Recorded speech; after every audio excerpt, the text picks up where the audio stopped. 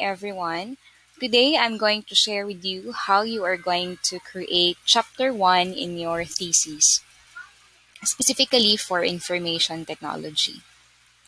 Alright, so um, this is my study entitled Design and Development of Attendance Monitoring for Faculty using Bluetooth Low Level Energy or BLE beacon.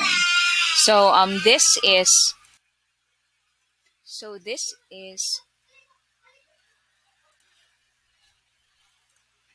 So this is um, an attendance monitoring for faculty in their classes.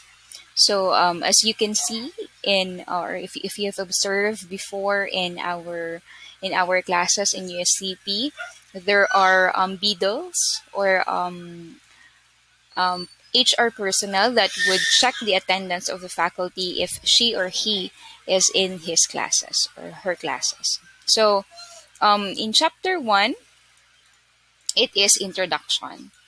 And under chapter 1, you have background and rationale. So background and rationale is minimum of two pages. So the first paragraph should be um, the importance of, um, of your project.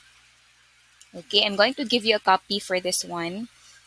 So, um, so you may be able to see. So the next paragraph would be, um, it's all about the current scenario, what is happening Okay, so um, it's across the Philippines. So um, use manual system in monitoring the attendance of the faculty in the college department. So a checker, which is a staff or working student rooms around the campus, and with the use of paper and pencil, an attendance sheet checks if the faculty really attended to his classes. So you may also add the policy. The next paragraph would be all about the problems. What would be the problems with this manual system? So first would be inaccurate, tedious tasks, and of course, um, the effect in the report generation.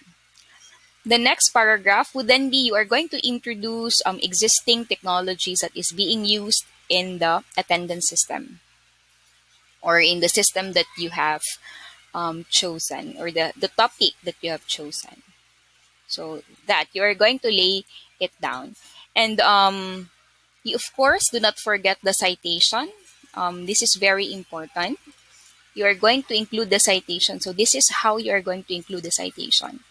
Um, you are going to um, add the last name and then the, the date published. Okay. And then next would be the disadvantages of these existing systems. All right, so you introduce all the disadvantages. Okay, and finally, you are going to introduce your solution. What would be your um, what would be the new technology that you're going to introduce or the new method that you're going to introduce. So for me, here is Bluetooth level energy beacon. So it's actually um, it's um, sorry so this one, this is actually the beacon or the Bluetooth that we are we are going to use. Okay. All right. So you, you then um at the end at the end of the background and rationale, the the final paragraph would be um, the summary of what will be your system. So the proposed system would like to replace the paper and pencil attendance monitoring of the faculty this system will only monitor the faculty and will, in, will not include the attendance of the students. So you are going also to include the scope of the system. All right. And how are you going to do the pilot testing? When we say pilot testing, um, it's just uh, a portion of um, whole USTP. So you're going, you're just going to um, to test the system in um, in in laboratory or in IT department. Okay, the next would be 1.2 would be the statement of the problem. So you're going to state your statement of the problem, and there would be no specific problems because it is already um, stated in the background and rationale. 1.3 would be your objectives. So you are going to um, elaborate specifically what you are going to do in order to address the problem.